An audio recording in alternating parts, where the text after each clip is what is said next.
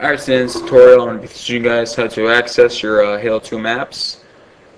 Um, I'm basically just going to go ahead and uh, turn on my Xbox, make sure it's in the uh, dashboard or modded dashboard.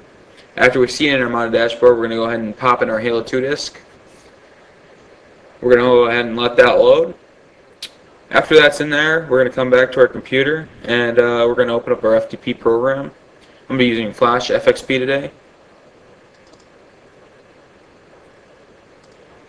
We're going to want to go ahead and uh, connect to our Xbox. After we're connected to our Xbox, we should see a new folder and it's named D. This is basically standing for a drive folder. This uh, is all our maps, obviously. So, uh, well, not our maps, it's our Halo 2 disk. So, uh, go ahead and double click on that. And here's your maps folder all these ones with the numbers and stuff, those are all uh, campaign maps, and the rest of them down here are the multiplayer maps. Now, if you already have them on your hard drive, or if you already have Halo 2 on your hard drive, they're going to be in a different spot.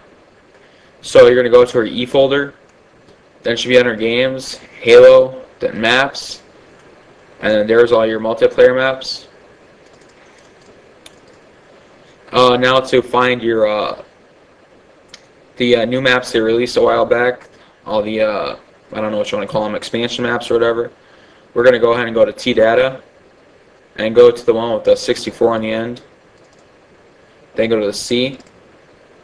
And in each of these folders there's different maps, so if you click on one you got Containment and Warlock, all those maps in there. Then you got uh, Turf in here. There's all the multiplayer expansion maps in here. And uh, yeah, that that will uh, wrap up this tutorial.